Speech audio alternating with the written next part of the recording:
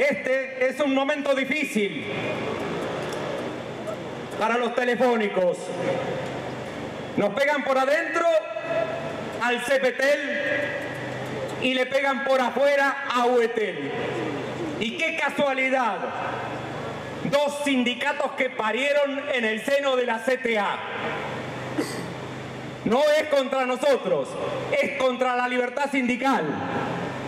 Es contra la democracia que venimos pregonando y construyendo. Los que no conocen, los trabajadores, saben cómo pensamos y saben que esos ideales nunca los hemos renunciado. La experiencia del tercerismo empezó hace mucho tiempo atrás.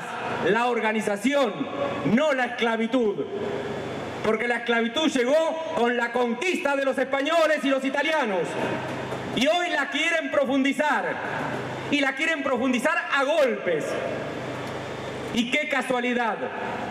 El CEPETEL, único sindicato con personalidad gremial dentro de Telefónica y dentro de la CTA, es atacado y una de sus empresas que tiene convenio colectivo que este gestiona quiere ser tercerizada. Quieren profundizar el modelo. No solo desarticular y si es posible desaparecer a los compañeros de hotel, sino que también no quieren dejar vestigio de libertad sindical dentro de su empresa. Telecom, claro, no son distintas. Pero lógicamente tenemos que ir de a poco. Y desde creciendo desde abajo vamos a ir juntando organización para enfrentarlos. Esta CTA como corresponde, junto con los movimientos sociales que siempre estuvieron a nuestro lado, van a expresarse.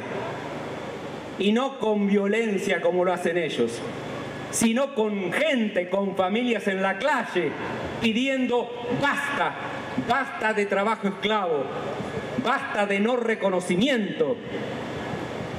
Y este ministerio, que a veces es muy bueno, también es muy sordo y mudo cuando tiene que escuchar el reclamo de los más pobres, de los más débiles.